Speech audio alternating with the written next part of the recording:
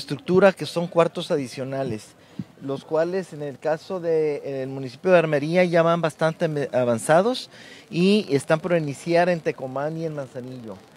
Este año en el área de Fonapo este, tenemos con organizaciones sociales alrededor de 500 acciones de autoconstrucción de vivienda las mismas que estamos supervisando y checando que efectivamente a la gente eh, se le entregue el material y esté haciendo uso de él, que es edificar su, cuarto.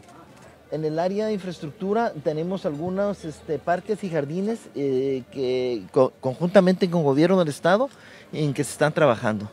Entonces nosotros, pensamos que alrededor de mediados de diciembre este, va a haber un gran avance a las obras estaría entregando también este año?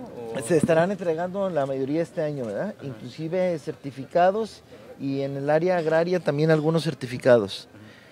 ¿Inversiones y en qué municipios están realizando estas acciones? Mira, este, ahorita vamos a empezar eh, en el fondo minero, que es un fondo especial que llega, que son alrededor de 70 millones de pesos. Estamos ahorita en, que no es año calendario, eh, los recursos llegan alrededor de, de, septiembre, se asignan y ahorita estamos en el proceso de elaboración de lo que vamos a, se va a hacer el siguiente año.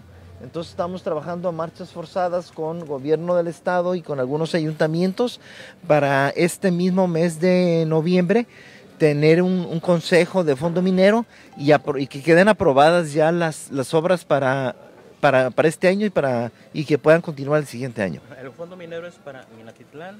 El fondo minero es para eh, eh, una parte para Minatitlán, Manzanillo, Manzanillo Colima, una pequeña parte para Armería y gobierno del estado.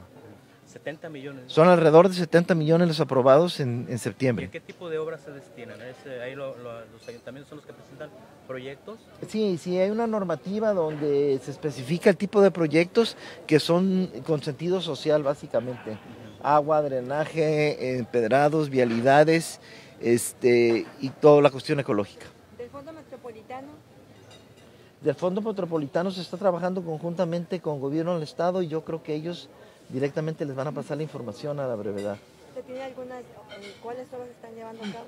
Ya eh, no se están llevando a cabo, están, están por aprobarse algunas obras. Ya hay una cartera de proyectos, en, tanto aquí en la zona metropolitana de Colima como la de Tecomán. ¿Y en este fondo de cuál, es la inversión? Todavía no tengo la, la, cuantificación. ¿Hasta cuándo la va a tener? Yo creo que en, en estos días la va a tener ya el gobierno del Estado.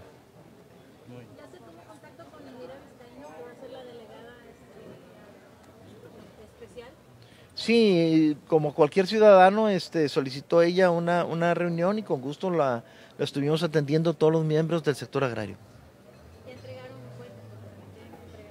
No, nosotros vamos a entregar el, cierre el 30 de noviembre. Muy bien. Gracias. Gracias, Rápido.